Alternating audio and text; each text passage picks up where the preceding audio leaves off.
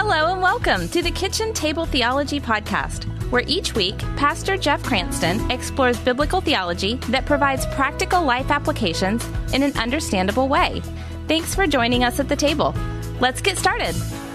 Hello, and welcome to Kitchen Table Theology. I'm your host, Tiffany Coker. Along with my dad, Pastor Jeff Cranston, we are seeking not only to help you know deep, solid biblical theology, but to know the Word of God and the promises of God that are given to us in His Word, all while holding to solid theological truths in our hearts, soul, and mind. On today's podcast, we are going to look at a quite well known New Testament letter of the Apostle Paul's. And I think we might could even say it is one of the New Testament's most popular books, if you'll allow me to say that. It is the letter to the church at Philippi, known to us simply as Paul's letter to the Philippians. If you're new here with us at Kitchen Table Theology, we have been walking through every Bible book, discovering the theological themes contained in each book, along with sort of just giving a summarizing overview. So, Dad, let's just go ahead and jump into the book of Philippians. Yeah, well, let's do that. Hello again, Kitchen Table Theologian. Thanks for joining us and checking things out today as we jump into another New Testament book. And I want to begin by sharing with you a true story. The story is related to us from an author by the name of Leo Buscaglia. And he tells a story about his mother and what they called their misery dinner their misery dinner. It doesn't sound that appetizing, does it? Well, they called it that because it was the night after his father came home and said it looked as if he was going to have to declare bankruptcy, go into bankruptcy because his partner had ripped him off and absconded with their firm's funds, the money that he had in in this firm that he'd been working, it, it was gone. His partner had stolen it.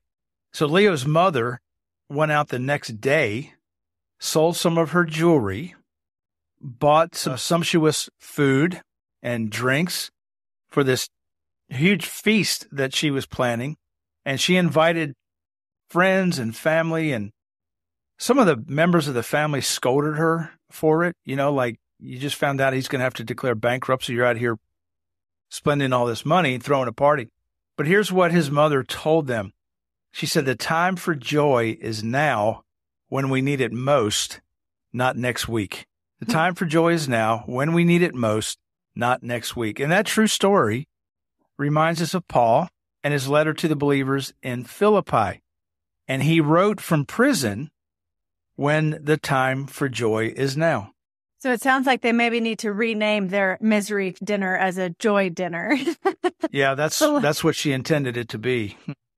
All right, let's go ahead and turn to Philippians. Start with a basic question. Hopefully, we might know the answer to this one. Who's the author? Yeah, well, thanks for beginning with an easy one. And the simple answer is the Apostle Paul. And as I said, uh, I think when we did the podcast on Ephesians and some of these other books, there's always some people who want to say Paul wasn't the author, but the evidence is so overwhelming. It's not even really worth discussing. It's the Apostle Paul. Now, we know Paul ministered in Philippi during his second missionary journey. He had three, and he spent about three months there. And the ministry at Philippi marked Paul's entrance into Macedonia. And that came about as a result of a vision Paul had in the city of Troas, where he was told to go to Macedonia which and all of that geographically wasn't really too far from Philippi anyway. So that's where he went. He spent some time there, but he's not writing from there. He's writing from prison. Okay, so quick question. Many of us have heard of Philippi. We've heard of this letter to the Philippians, but as far as the actual city of Philippi goes, where is it located or is it just not around any longer so we don't know about it? Yeah, good question. It, it's still there. Although Paul's Philippi you know, first century Philippi is no longer a functioning city. Uh, it's it's located in Greece, not too far. Uh, I think if memory serves, 13, 15 miles, something like that from the Aegean Sea. Some major excavations started taking place in the first half of the 20th century. Uh, they got uh, paused because of World War One. They picked that up again. Then they got paused again with World War II. Uh, but they have been ex- ex- excavating. That's easy for you to say. Excavating uh, Philippi, first century Philippi, and, and and it continues today. So the biblical city of Philippi, which is mostly ruins. Uh, I mean, you, you know, you can go there and see these great ruins of this city. It's it's now presently it's a UNESCO World Heritage Site, and so Tiff, the next time you're in Greece, you just can spend the day wandering around the city where Paul ministered. yeah. Next time I'm swinging by Greece, I'll be sure to yeah. stop by. so d- during his first stay in Philippi, because he also later briefly visited the city on his third missionary journey. So not to get too confusing, but the first time he visited that city was on his second missionary journey. And when he did, he brought a number of people to faith in Christ who eventually formed the core of this new burgeoning congregation in the city. And among them were Lydia, a businesswoman who opened her home to Paul and his co-workers, and the Philippian jailer, who was converted under Paul's ministry after an earthquake miraculously broke open the prison. And you can read about all of that. All of these things happened in Philippi, and we can read about those two things in Acts 16. I would love to go to Greece one day. Maybe I can go see the city of Philippi, but let's keep going here. So Paul wrote the letter to the Christians in the city of Philippi. About when did he write this letter? It was around 61 or 62 AD. This is one of the four prison epistles. And most believe Paul wrote this one last, near the end of his imprisonment in Rome. Now, how did it get there? I'm always fascinated by this stuff, but Paul sent the other three prison epistles, and I wonder if kitchen table theologian remember what those were. They they were Ephesians, Colossians, and Philemon, along with Philippians.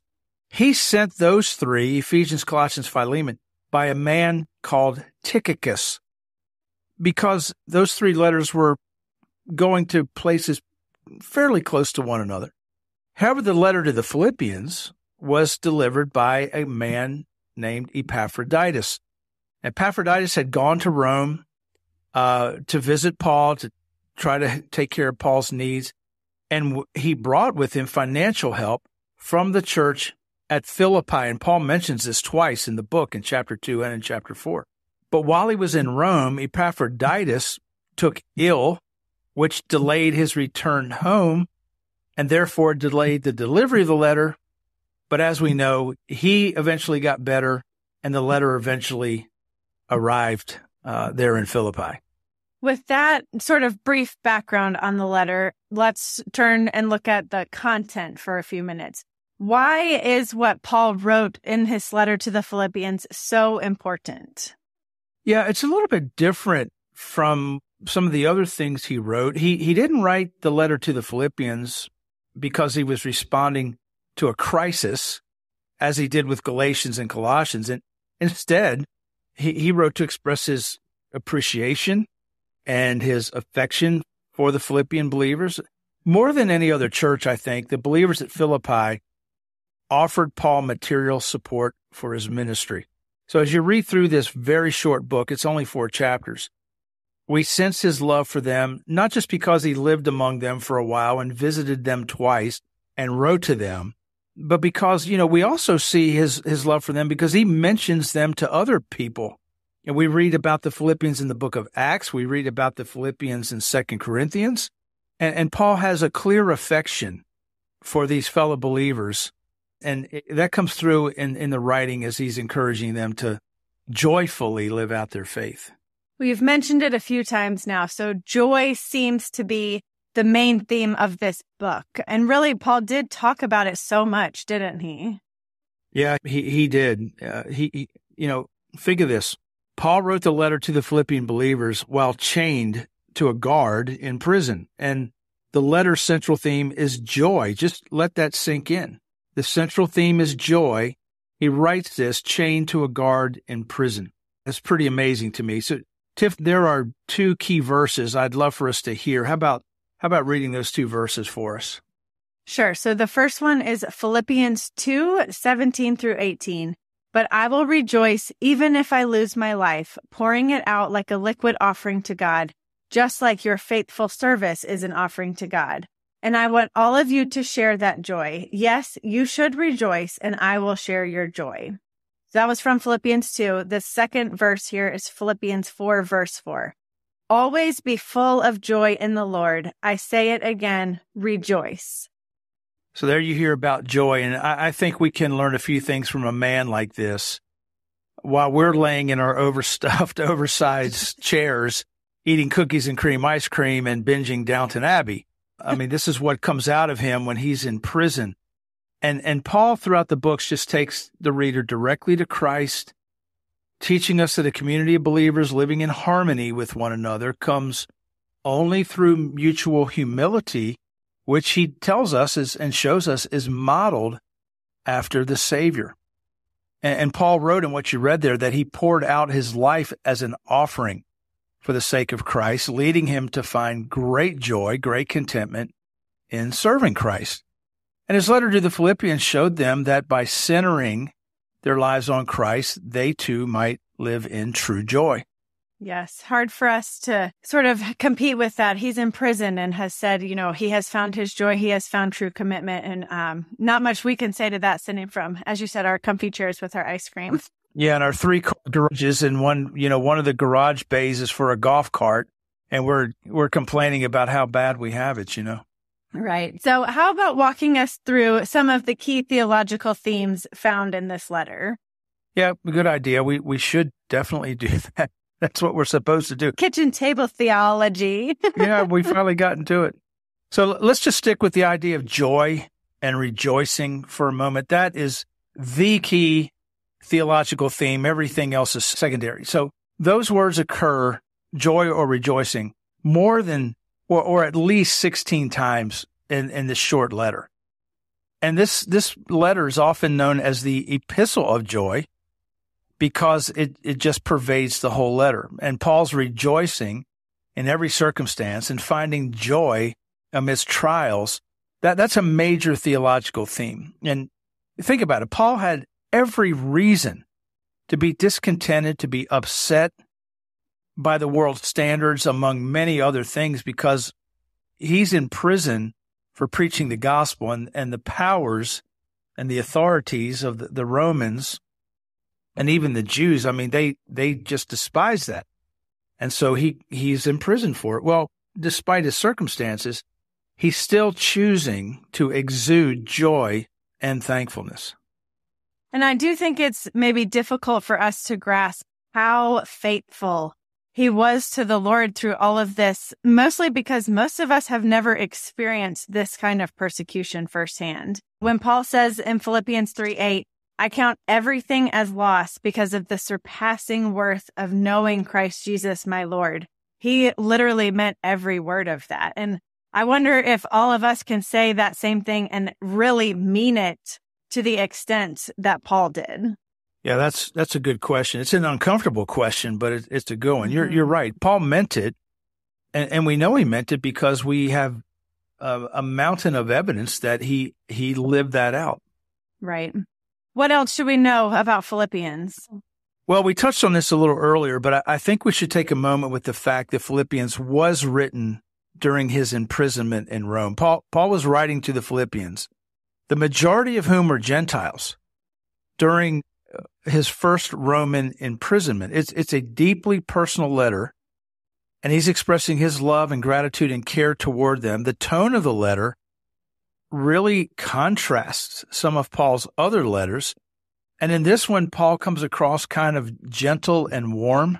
And I, I wonder if the Philipp, if the uh, sorry, the Corinthians ever got a hold of the Philippians letter, they probably would have, you know, looked at the two letters they got from Paul and said, "I don't, is this even the same guy?" Because he was he was just wearing the Corinthians out most of the time because because they needed it.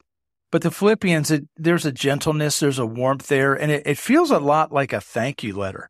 And, and so many of his other writings, he, he's having to take believers to task for what they're doing or not doing, but but not in this letter. It's personal, it's uh, genuine, it's joy filled. And, and I have to ask myself that if I were imprisoned for preaching the gospel, would my top priority be to show joy and teach on humility and unity and contentment.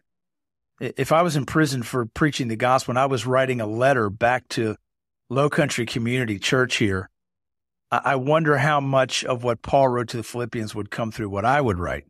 It's incredible to me that while Paul had every earthly reason to pout, to be angry, to second guess God's plan, he, he didn't do that. I, you know, the letter that I would write probably would be, look, y'all find the best attorneys. I need a team of attorneys. They got to get me out of here.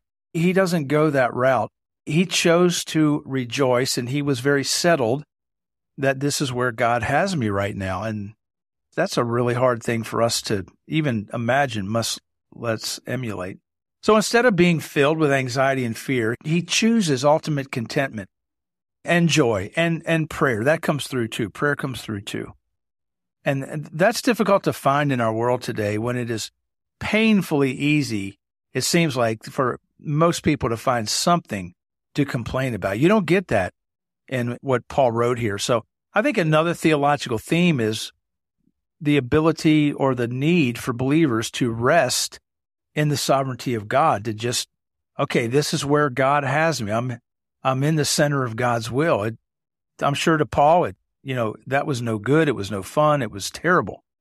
But he said, no, you know, this is where God's got me right now. And he accepted that. I was actually having a conversation very similar to that yesterday. Um, just on joy and peace. It comes from being content and being knowing that God's got you right where you are and he put you there mm. on purpose. And the study for the fruit of the spirits, joy and peace was actually the, these verses in Philippians. So it's good, a good reminder that Paul, and I'm thankful that Paul wrote this letter so we can still, you know, hear that today. But moving on, we know that these four New Testament books are called prison epistles. And you said in your comments just a minute ago, it, this was during his first Roman imprisonment. So it makes me wonder, I have to ask, how many times was Paul in prison? Yeah, it seems like every you're running into him so often. He, he he's in he's prison. He's in prison. Yeah. Um, there's a guy named Ryan Schellenberg, and he wrote a book called Abject Joy. And he tells us that not only was Paul imprisoned, but Paul was imprisoned a lot. Clement of Rome, one of the early church fathers, Clement of Rome, claims Paul was seven times behind bars, he says. Wow. Um, in Second Corinthians, Paul says simply that he experienced, quote, far more imprisonments, end quote, than any of the other apostles. I, you know, I was, I was in prison far more times than the rest of them. So I think the answer, how many times, we don't know exactly how many times. Clement maybe can prove seven, but he, he was in jail or house arrest or prison, for, you know, fairly often once he became a Christian. Well, thank you for that. Kitchen Table Theologian, we can link that book that Pastor Jeff just mentioned, Abject, Abject Joy, in the show notes in case you want to do a deep dive on that. But Dad, how about leaving us with something that I think is interesting, not only historically, but also it relates to our theological themes here. Philippians contains what many Bible scholars believe to be an early Christian hymn. Mm-hmm. And I know you love your hymn, so I'm excited to hear about this. it's so rich in theology. So I'll read the verses and then you can maybe unpack it a little bit for us. So this is found in Philippians chapter 2, verses 5 through 11. Have this attitude in yourselves, which was also in Christ Jesus, who, as he already existed in the form of God, did not consider equality with God something to be grasped, but emptied himself by taking the form of a bondservant and being born in the likeness of men. And being found in appearance as a man, he humbled himself by becoming obedient to the point of death, death on a cross. For this reason also, God highly exalted him and bestowed on him the name which is above every name, that at the name of Jesus every knee will bow of those who are in heaven and on earth and under the earth, and that every tongue will confess that Jesus Christ is Lord to the glory of God the Father. So, kitchen table theologian, if you've read through Philippians before, or maybe many times before, you recognize those verses. That was a what most Bible historians believe that was a hymn, possibly the earliest hymn of the church that we have. And multiple sermons or podcasts couldn't even do justice to all of the theology that's contained in those verses. But in closing today, let's summarize what those verses are are teaching. And even that's a little hard to do. So I'm going to turn to a fellow pastor by the name of Ray Fowler, raised down at Plantation Community Church in Plantation, Florida. And, and he draws out three concepts from these verses. First of all, he says, in the theology of all that, we learned that first of all, there is no task too small to do for Jesus. There's just no task too small to do for Jesus. When, when you choose the path of humble obedience as Christ did, no task is beneath you when you do it out of love for him or you do it out of love for your neighbor. So we're, we're called to serve each other in love. Jesus personified that, so no task is too small to do for him. Secondly, there is no obedience too difficult that God requires. Jesus humbled himself, Paul writes or uh, shares in Philippians, and became obedient to death, he says, even death on a cross. So there's our example. No obedience too difficult if God requires it. And, and along with the command, God will give you, as he did Jesus, or as Christ said, the strength to obey that. And then thirdly, there's no reward so sweet as that which God gives. So no task too small to do for Jesus, no obedience too difficult that God requires, and no reward so sweet as that which God gives. Jesus showed the ultimate obedience and he received the ultimate reward. You, you can't outgive God. You can't outserve God. You, you can't out anything God. And you, you and I are just called to humble ourselves in the sight of the Lord and he will lift us up. And so Christ in that book, in that letter of Philippians, he's, he's lifted up as the supreme example of humble obedience because think of it. He started from the very highest place, heaven, and he journeyed to the very lowest place here on earth in a stable in Bethlehem. And, and no one traveled further than Jesus on this road to humility because no one ever started as high as he did or went as low as he did. And God calls you and I to have the same, that same attitude. So hopefully that, that gives you a little something to, to, to go on today. You know, reread that out of Philippians 2. It is just, uh, you know, those are some verses there that is really worthy of a, of a deep dive. Well, thanks so much again for listening, Kitchen Table Theologians. Take a, just a moment, if you would, to rate and review the podcast, especially on Spotify and iTunes, as that's really what helps new listeners find the show. And we just want to spread the kitchen table theology love. Don't forget, you can check out today's episode's notes as well, and we will link that one book for you. As always, we want to say thanks to our spiritual home, Low Country Community Church here in Bluffton, South Carolina, for making this podcast possible. You can head on over to jeffcranston.com for more information about Dr. Cranston, his books, sermons, leadership notes, and blog posts. And Lord willing, we'll be back next week with another episode, and we will head back to the Old Testament for that. So there it is. Now go deeper. And until next time, always remember that the real power of theology is not only knowing it, but applying it. You've been listening to the Kitchen Table Theology Podcast with Pastor Jeff Cranston. Join us next time for more insights into biblical truth. If you'd like to know more on today's topic, please check out our show notes. If you have a question from today's podcast, kindly email us at pastorjeff at lowcountrycc.org. If you're enjoying this podcast, would you consider leaving a rating and review? We deeply appreciate your help in getting the word out.